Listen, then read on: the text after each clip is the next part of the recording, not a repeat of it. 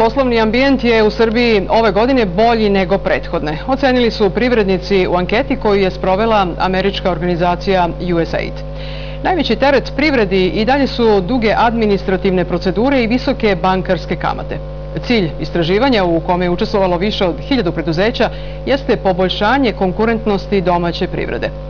Predstavljajući rezultate, ministar privrede Saša Radulović i američki ambasador Michael Kirby ocenili su da će gradnja gasovoda Južni tok kroz Srbiju tome doprineti, jer je za privredu važno da ima jeftinije energente.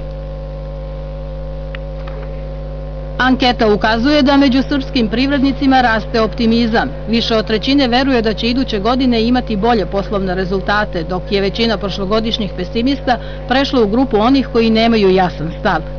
Pozitivno je ocenjen rad inspekcijskih službi, a korupcija više nije visoko rangirana. Rezultati ukazuju na upola smanjenu korupciju. 46 od 100 ispitanika navodi da im korupcija nije uticala na poslovanje, što je napredak u odnosu na 26 od 100 onih koji su prošle godine imali takav stav. Posao države nije da zapošljava, već da stvori uslove za to, kaže ministar privrede. Najbolji poziv stranim investitorima šalju dobri uslovi za biznis, a ne subvencije. Imamo druge mehanizme podsticaja investicija koje ćemo koristiti. To je prošlo e, vladu i nalazi se u Skupštini.